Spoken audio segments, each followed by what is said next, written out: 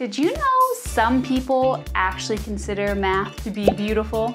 Yes, that's right, I said beautiful.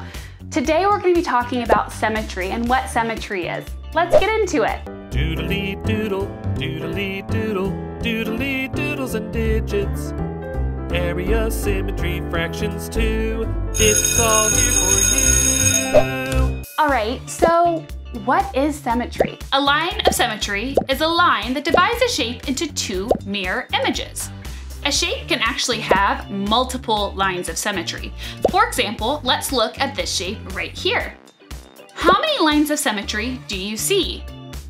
Could we fold this shape in half and it'll be a perfect match multiple different ways? Where do we see symmetry in everyday life? We see symmetry in real life all the time.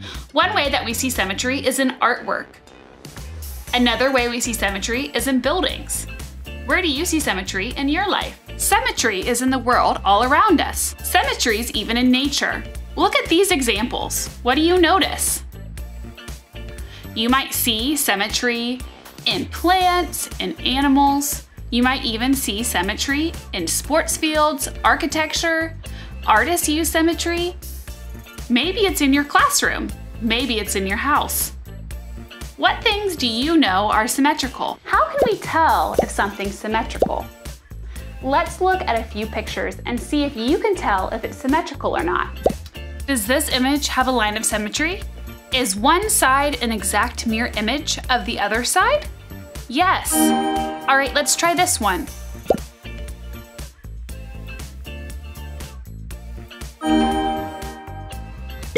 All right, last one. Does this have a line of symmetry? If you folded this image in half, would it line up? No. All right, look on the screen now.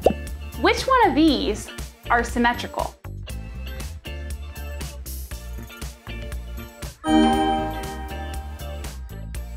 Now that we've tried a few together, let's see if you can figure out which objects are symmetrical on your own. Is this symmetrical?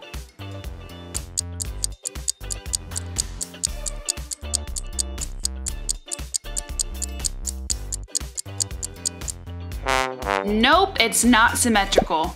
Is this symmetrical?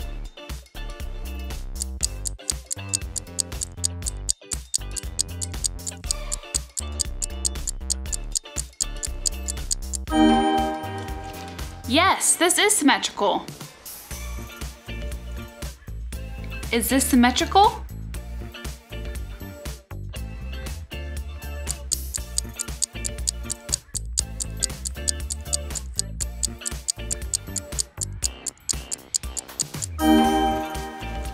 Yes, this is symmetrical.